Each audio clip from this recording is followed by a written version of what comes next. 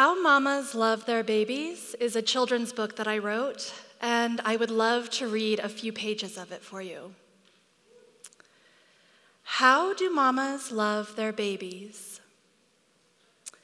Well, mamas use their bodies in so many ways to care for their babies. Some mamas stay home all day long, and it's really hard work. Some mamas dance all night long in special shoes. It is also really hard work.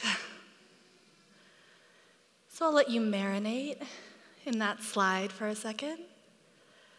Yes, that is a stripper mama protesting the labor conditions at the strip club where she works.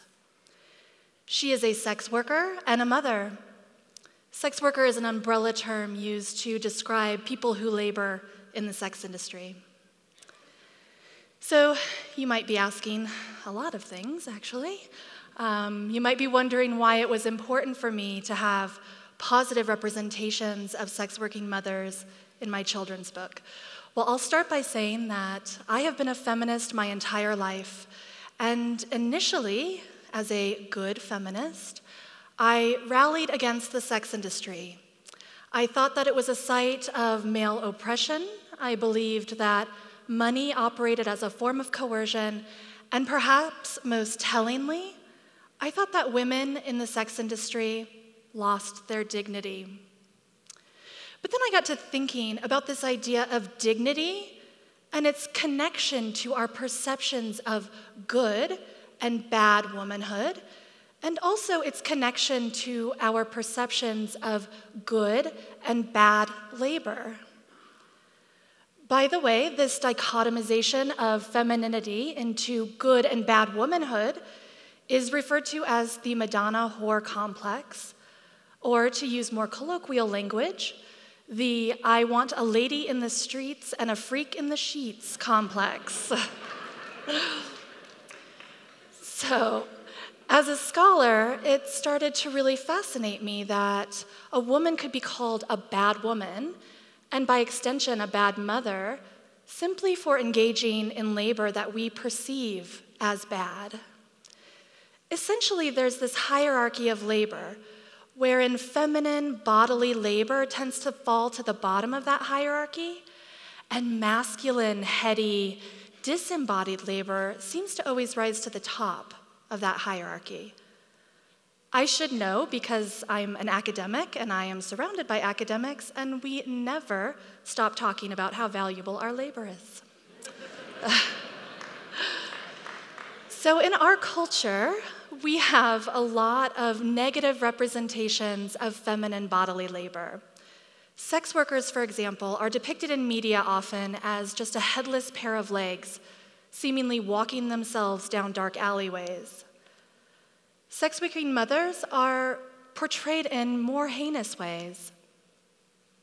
Sex working mothers are often depicted as neglectful of their children, necessarily broken and in more cases than I can even mention, sex working mothers are depicted as deserving of violence, whether that is the violence of police brutality, sexual violence, or the violence of losing their children. So, these negative depictions of sex working mothers are not an accident. They're actually a tactic for keeping all women afraid of being perceived as bad. Now, there's part of the story that I haven't yet told you. The first is that I am a mother. You probably gathered that from my desire to write a children's book or from the tired, dark circles under my eyes. I am also a former sex worker. So, after my phase of vehemently opposing the sex industry, I found myself in a strip club and that's another conversation entirely, and one that we should have over cocktails. Um, but I ended up working in the sex industry for about 15 years. And then I became a mother, and something really interesting started to happen. My friends and peers and colleagues, even other people in the sex industry, started telling me to never talk about my former labor. They said that even talking about my former labor in the sex industry could lead to my losing custody of my child. These warnings were not unfounded. This is Gina. She is a woman of color, so she's already represented as the other in our society. These racist representations of black women, juxtaposed with the stigmatizing representations of sex working mothers, led to a court determining that Gina was an unfit parent.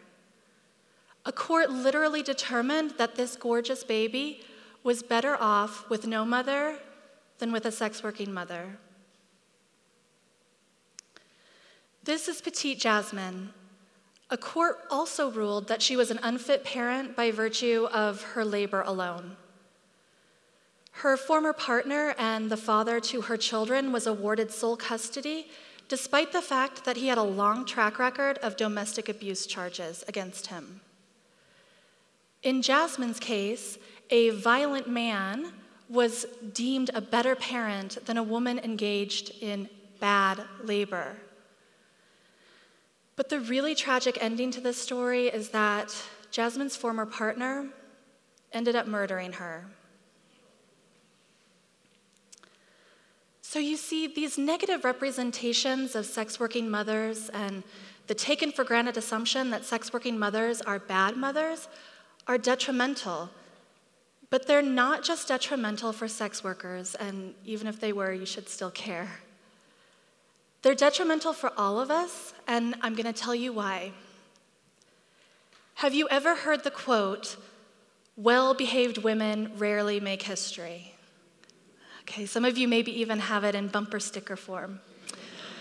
Or if you listen to the artist MIA, you might have heard her belt out the very catchy lyrics Bad girls do it well, whatever it is. Okay, but what about this quote? One good girl is worth a thousand bitches. What do you think that means? Because I take it to mean that bad girls are disposable and good girls are deserving of love. Negative representations of sex working mothers, like I said, are a warning for all women. They're a warning to the bad girls, of course, but they're also a warning to the good girls. They say to good girls, choose. Choose between making history and being loved. But we don't have to make that choice anymore because once we start to dismantle this dichotomy of femininity, we can stop defining ourselves as one of two mutually exclusive things. But dismantling that dichotomy means supporting sex workers generally and demanding better representations of sex working mothers specifically. I create better representations of sex working mothers because I want all women trans women, black and brown and indigenous women, migrant women, undocumented women, poor women, sick women, all of us to be appreciated for our complexity rather than being forced to choose between two incomplete versions of femininity. You can also help dismantle this dichotomy simply by questioning the taken for granted assumption that a woman's labor or even her sexual behavior is indicative of her parenting at all. Heck, you could even stop using the word whore pejoratively, like right this second, and it would mean the world to women everywhere. Because truly, at the end of the day, whether we stay home or dance in special shoes. We love our babies, and our babies deserve positive representations of us. Thank you.